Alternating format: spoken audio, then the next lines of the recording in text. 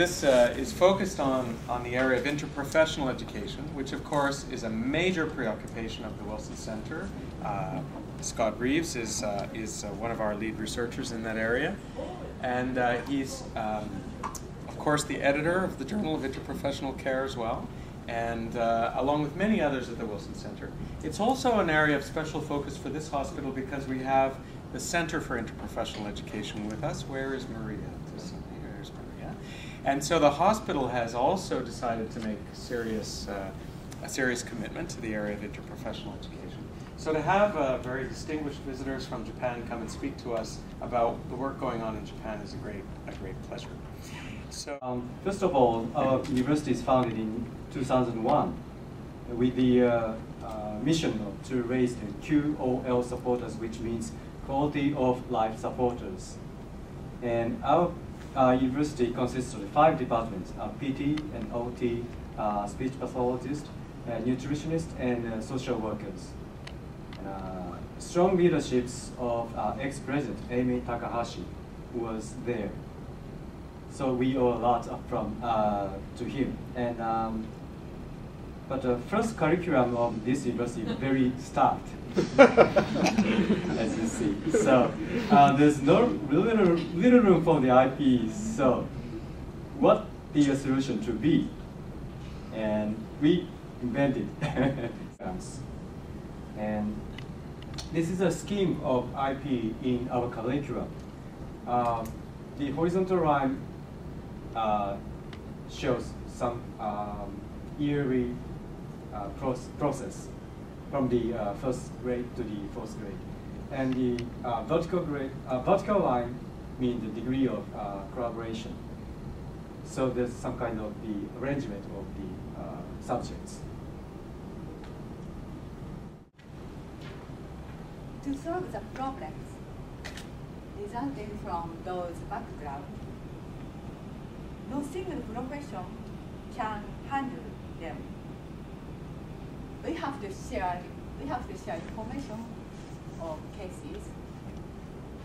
Then we have to share. Then we have to understand understand each other.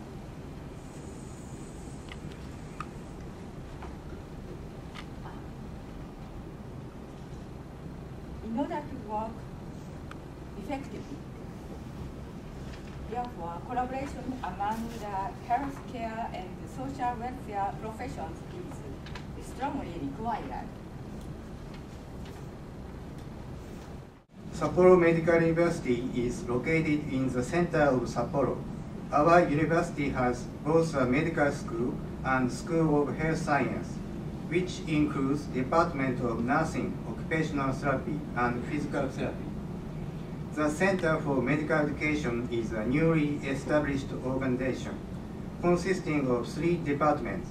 The departments in our university, two initiatives, additional community internship program and team-based training program have been undertaken by both the School of Medicine and the School of Health Science aimed at preparing medical personnel who will serve the community the first is a residential community internship program under which students are requested to stay at, at the remote community for a certain period of time. The second is a team-based training program under which student capacity to cooperate with other professionals is expected to improve. By integrating the two programs, a joint curriculum of the two schools a team-based residential community internship program was initiated in uh, 2004. Uh, so next evaluation is to understand as, as a professionals. Uh, nursing uh, gained uh, the score, uh, increased the score after IPE. similarly, occupational therapist has increased the score especially social worker has showed most uh, higher score after IPE. I think this is very interesting. However, uh, physiologist, physiotherapist showed a minimum in, increase after IPE, and this was not significant. I think this difference between physio physiotherapy and social workers is uh, quite interesting and should be analyzed further. Uh, established by uh, Tokyo Metropolitan Government.